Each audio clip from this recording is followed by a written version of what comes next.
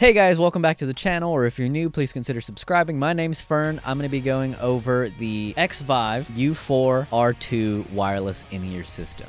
These are mandatory, and if your band doesn't play with in-ears, then you're f you need to get on something like this ASAP. I'm going to be going over and reviewing this system and what I think of it after a month of real world experience so the Xvive unit comes in this really nice box. Comes with one transmitter, two wireless packs. So it's great for like a drummer and a guitarist, or if you're a drummer and you're wired like I am a lot of the time, you can now give two packs to your band and they can now hear the same thing that you're hearing. So click track, backing track, whatever. There's a couple routing options for this. You have an XLR output on your board. You can just plug this straight in. Or if you need this adapter like I did and you want to just plug it into a headphone output, this is a great handy little adapter that they include as well. 5 hours of battery life, all rechargeable.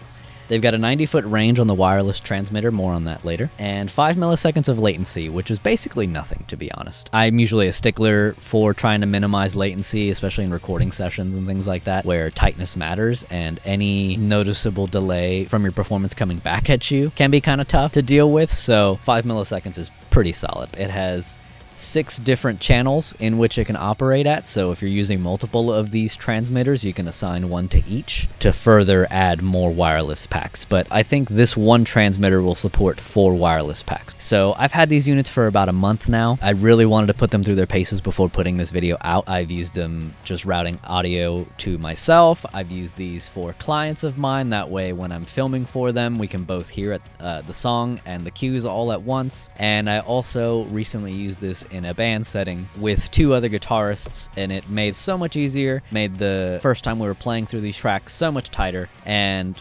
realistically, if you're a musician or if you're in a band and you take your music seriously, if you're not on in ears, you are doing yourself a huge disservice. Just because of the ability to self monitor and hear yourself uh, regardless of the setting and also be able to hear your bandmates which is a huge importance you know especially in the world of live music and systems like this make it very affordable and easy to get into that market so, in my own experience, I have nothing but good things to say about these. Being a studio owner and doing all of the things that I do music wise, my life is full of cables. And every step that I can do to hide cables or minimize the amount of cables that I have going on is tremendous. Build quality wise of these units is pretty sturdy. I'm not gonna lie, I've dropped these things quite a few times.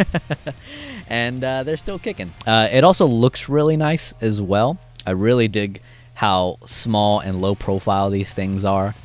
The guitarist Blake Webb that I had in for like a band rehearsal session, he commented on how much he loved the sturdiness of this and how when it was clipped onto his belt loop or guitar strap, there was no getting it off. So you don't have to worry about it coming loose or getting away from you on stage. My guitarist Aru from my band Lines of the Gate he actually bought one of the single unit systems right before we went on tour and used it for three weeks in a professional setting. The only annoyance that he had was the charging every day, but you have to do that with any wireless system at that level. And also, if his transmitter was on one side of the stage and he decided to walk all the way to the other side, he would sometimes experience wireless issues, so signal cutting out and things like that. But once he got back to where his unit was, he didn't have any of those problems. And he thoroughly enjoyed it. When you play at multiple venues over the course of your career, career, a lot of them are going to be hit and miss. So taking the steps to minimize those occurrences and really make sure that you're playing at the top of your game and with a consistent feed every single night just really helps out and also saves your ears. I mean, as musicians, our ears are almost as valuable as our hands and the tools that we use to make music.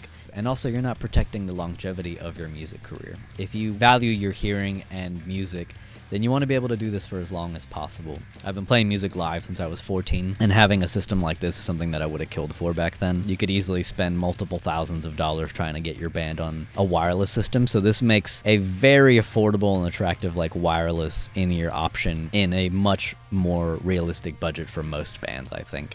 And I think it does a stellar job at that. What are your guys' thoughts? What do you think of this system if you've used it yourself, or is this something that you would pick up in the future? Let me know in the comments below if you guys want to see more gear reviews on things like this or the things that I use. I hope you guys enjoyed the video. If you did, please be sure to like and subscribe. It helps out a ton. And I will catch you guys in the next video. Thank you guys so much. Mwah.